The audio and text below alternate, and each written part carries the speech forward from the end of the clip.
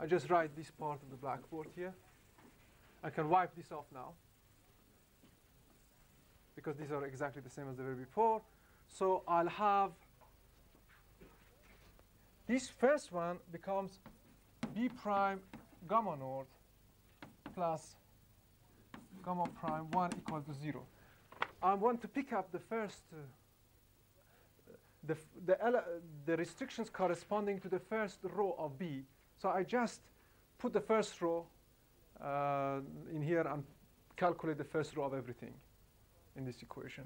So I get B prime, gamma naught, and gamma 1 prime. This is the first row of that.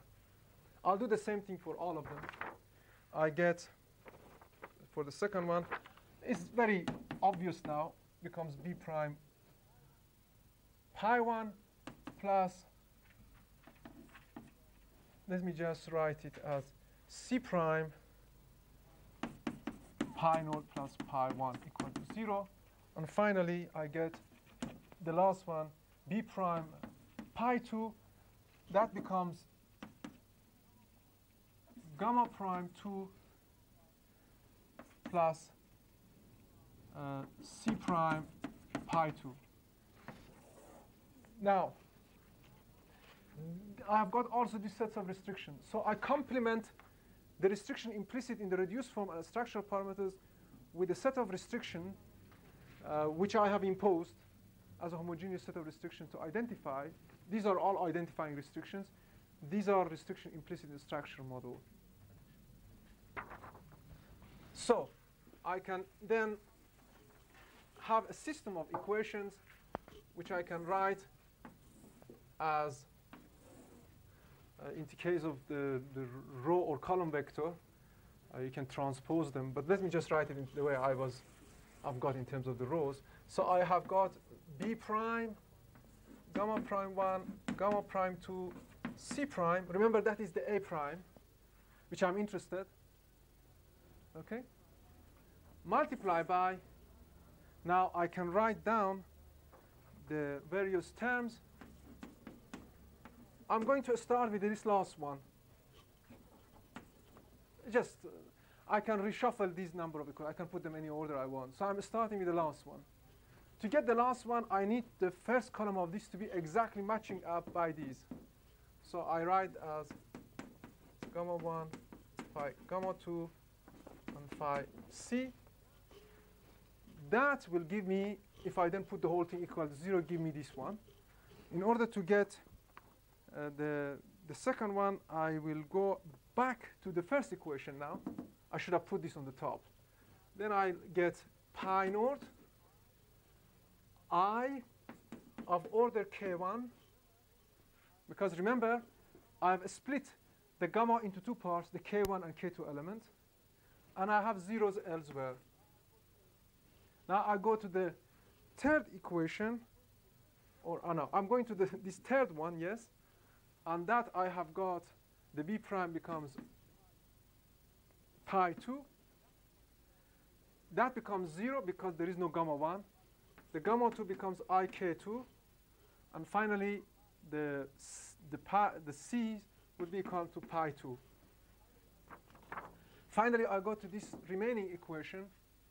That gives me pi 1, gives me 0, 0, and for c, I get pi naught plus pi 1. So I have actually, what I have done is all this, which is very similar to the problem of a structural equation estimation, is all that equal to 0. Now, the question is, how, under what condition I can solve this up to a scalar constant. Obviously, the 0 is a solution of that, but I'm not interested in that. I want to have a non-zero or a non-trivial uh, solution for this up to a scalar, which I can read up to a scalar constant.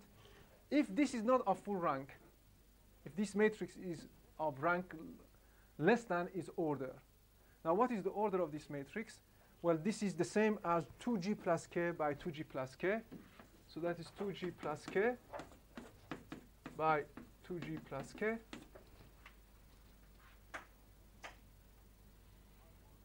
And I want, is it no? Have I made a mistake? No, that is j and j, that's okay.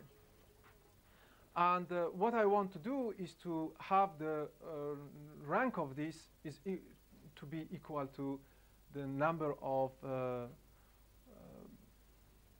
parameters which I'm going to estimate. So the, the, the, this, again, is very similar to that. I have to have this rank, shall I call this, I don't know what, let's call it this Q matrix. Let's call that a Q. The condition for uh, which is necessary and sufficient is that the rank of Q should be equal to 2j plus k minus 1. If the rank of it is less than its order, uh, it essentially cannot be inverted, and therefore I can always find the uh, parameters a's, b's, gammas, and c's up to a scalar constant. What is can we the issue is can we simplify this rank condition further?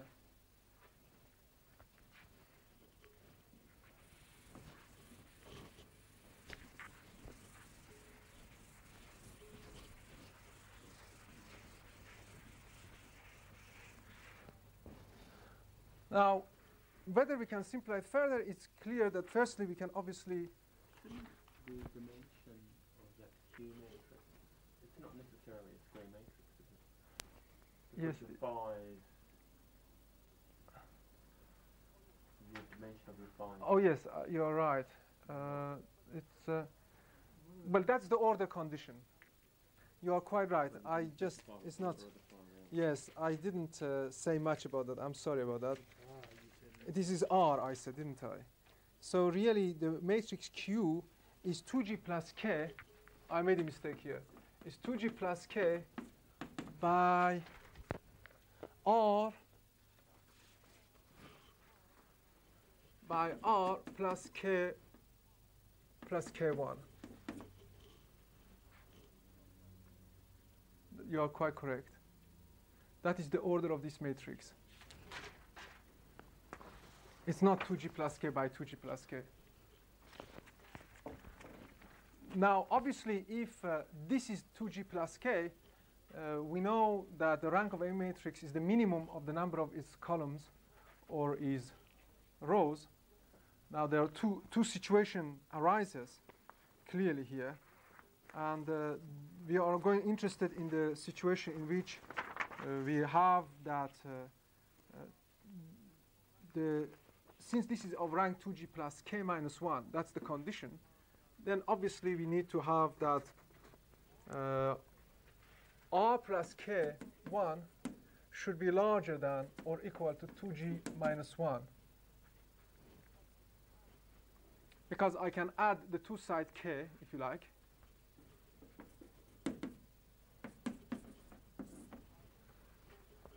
I need, for this to have rank 2g plus k minus 1 and then enable me to identify the parameters, I need the 2g plus k minus 1 to be less than the number of its column. If it was not, then the rank should be r plus k plus k1, and that uh, would always be larger than the number of unknown parameters that won't do. Okay? That's the usual uh, solution of homogeneous equations. And therefore, I really need this condition to be satisfied if I cross out the k, that r plus k1 has to be larger than 2g minus 1 as well. This is the order condition. Uh, when I'm writing the rank condition, essentially, this rank condition will be satisfied. For it to be satisfied, it's necessary that this order condition to be satisfied. Let me, before simplifying this, let me say now we have talked about the order condition. Let me just uh, say something more about it and uh, give you a feeling about utilizing these sort of conditions in practice. Now, to do that, if we denote the number of endogenous and uh, uh exogenous variables which are excluded from this equation by g bar, uh, k bar, and h bar, then it is possible to uh, write uh, the equation also as k plus k1 is not difficult to see actually is equal to g bar plus the, uh, sorry it's h bar if there are the number of endogenous variables that are included sorry not excluded. It's always I get it always confused whether it's you're talking of exclusion or ex these are included g endogenous variables are included g bar these are h bar, the expectational variables are included, and k bar are the number of uh, x's included, whether they are predictable or non-predictable perfectly. Okay?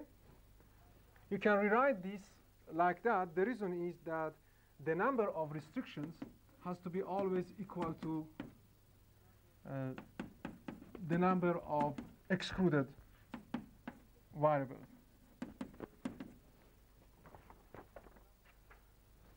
This is the number of restrictions. Uh, and if now replace this back in here uh, and uh, cancel out the g's, there are two g's and so on, this will be the rank condition. Sorry, the order condition. So the order condition says, very simply, that the number of exponential variables, whether predicted uh, or predetermined variables, whether predictable or not, plus, this is the key one, the number of variables which could not be perfectly predictable. They are truly exogenous, they are not predetermined. That should always be uh, larger or equal to the number of included variables in the equation minus 1. That's very easy to apply. You count how many variables are in the equation. You take one out of it, and then it, this has to be a smaller or equal to the number of predetermined variables plus the number of truly exogenous variables. By that, I mean those variables which cannot be predicted exactly at time t minus 1. So you'll see how misleading it would be if you didn't classify the variables into two parts. You, ex you exaggerate the identification, possibilities of identification.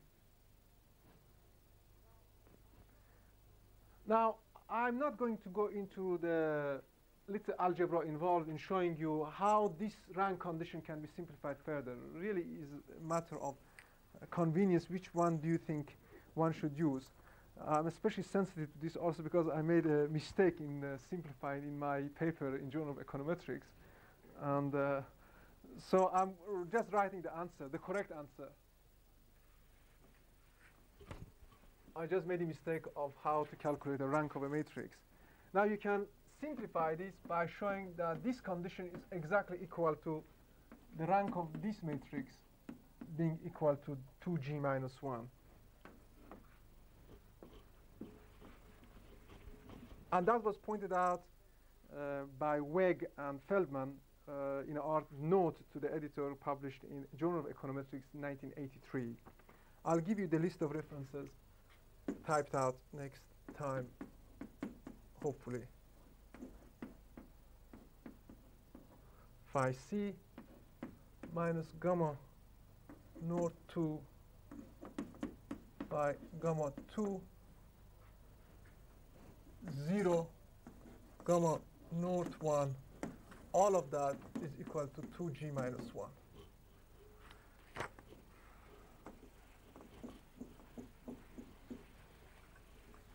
this is, in fact, you can show that that is uh, the necessary and sufficient condition for identification.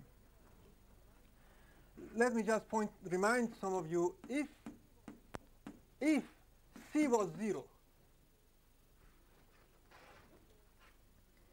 C was 0, and we were dealing with, uh, obviously you can't, it's no point putting C equals 0 here, but I'm saying if C were to be 0, that was the model where no rational expectation variable in it. And we had the same identifying restriction. I want to remind you that the rank condition then would have been phi is equal to g minus 1. This is a textbook result. In fact, if you can think of it, this generalizes this condition. But the reason that is not, you can't put just C and get back to here is simply because the identification very much depends whether which x's were perfectly identified, predictable, or which x's weren't. While when you're dealing with a uh, non-rational expectation model situation, you don't need to make any distinction between whether x's are perfectly identified, predictable or not. Okay, let me just go through example uh, before just uh, commenting on what happens when x star t could not be estimated. Uh, let me just take the example from uh, Taylor, 1979 Econometrica. Uh, I've changed his notation so it doesn't clashes with ours. Uh, QT is the log of total expenditure as deviation from trend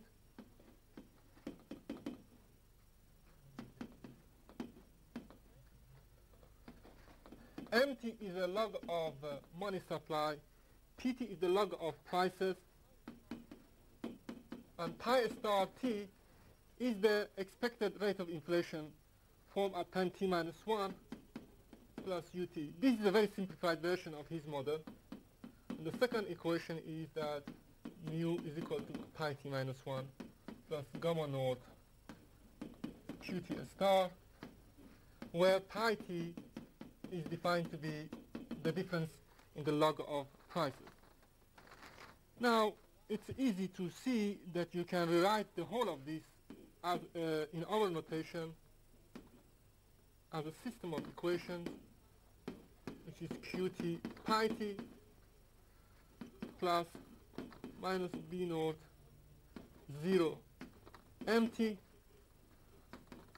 plus minus lambda beta 1 0 0 minus 1 plus mu minus mu. Qt minus 1 pt minus 1 pt minus 2 sorry about that it becomes I have to go back down here.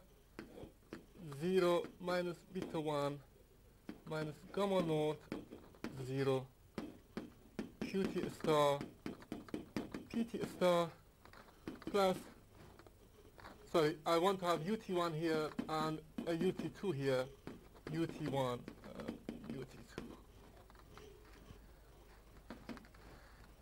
Now, the reason I chose this example is to show you the importance of splitting the predetermined variables into the truly exogenous one and those which we are not, which are perfectly predictable. I also dropped out the constant term, so you'll see that the problem arises even if you take deviation from the uh, mean of all the variables. Now, in our notation, this is B. This is vector Y. That's B. That's Y. That is gamma naught 1. And MT is XT1. There's only one element there. That is gamma naught 2, and that is xt2, this vector. That is c, and that is u. And, therefore, and obviously that is yt star. So it exactly fits with the framework I've been just looking at. Furthermore, k1 is equal to 1. Sorry, g is equal to 2, k1 is equal to 1, k2 is equal to 3, 1, 2, 3, the predetermined variables, and that's it. Now, in order to see whether the first equation is identified, first we can apply the order condition. What is k? k is 4, 1 plus 3. k1 is 1. And that has to be larger or equal to the number of included variables, we just count them, 1, 2, 3, 4, 5, uh, and uh, is it true? That's it. No, no, no, I don't mean here, sorry. I did the wrong way. The number of included variables are not in the original, uh, yeah, that's correct. Sorry, I, that, that was correct. 1, 2, 3, 4, 5 minus 1. So there are, it is uh, satisfied. In fact, it's all identified according to the rank condition. We can do the same thing here. What am I doing? I'm making a mistake because then I did it. The mistake is here is this, that in fact pi t star, I have to put it in terms of pt, and that is equal to pt star minus pt minus 1 plus ut1. And now we have got 1, 2, 3, 4, 5, 6. I was right when I did it at my leisure. Uh, it's very, you have to be very careful when you're uh, looking at these models because any transformation of variables has to be looked for, uh, taken account of before you write down the equation. Because the equation I've written in terms of PT star I mean, it's no point if you have got a, a real balance effect and rate of inflation, you have to make sure that there is only one price variable which is not known. Not, not two unknowns, not PT and as well. Okay? So in this, this condition is satisfied. For the second one, uh, here uh, there is, uh, in fact, because pi t minus 1 is, depends on pt, pt minus 1, and that depends on pt minus 1, pt minus 2, so the number of variables are 1, 2, 3, 4.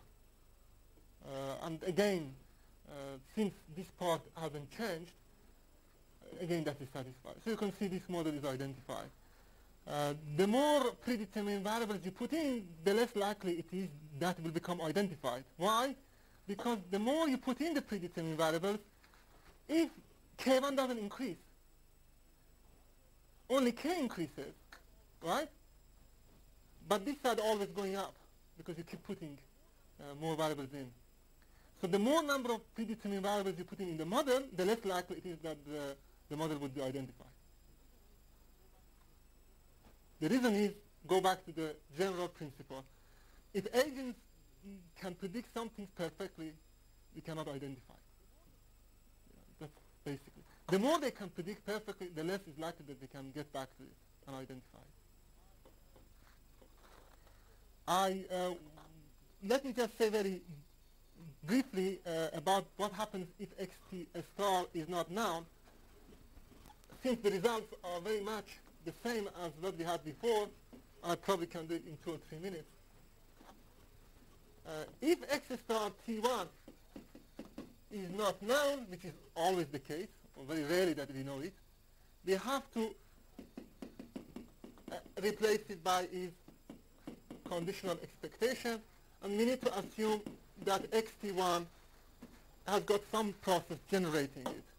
And the model which uh, I'm going to assume is the general order vector autoregressive, again of order q, plus some vector now epsilon t. Note here uh, that I have not made xt1 being a vector autoregressive of xt1. I've made it being a vector autoregressive on all the x's. It is not a just mistake and uh, you know just writing uh, writing something or missing something on a blackboard. The important thing is to note that it allows for all the lagged values of the dependent or endogenous variables or other variables to affect the generation of xt1. It also allows seasonal dummies and constant to be included in this equation. So it's very general. Since we allowed lagged values to, to be included in xt. If we have that, what we have to do, what we then we could estimate xt star as being the sum of ri xt minus i i from 1 to q. If I make the assumption of all these x's are exogenous or, uh, or condition or, uh, or orthogonal to epsilon t, I can estimate this and then consider replacing in my previous conditions instead of the actual values the expected value. Now, so long as this expected value or uh, calculated value is not perfectly correlated with all the variables in the model, like xt1 and xt2, then the model is identified. Now you may ask yourself, what about that order condition? How about the order of the lags being satisfied? Where that happens here? It's quite clear.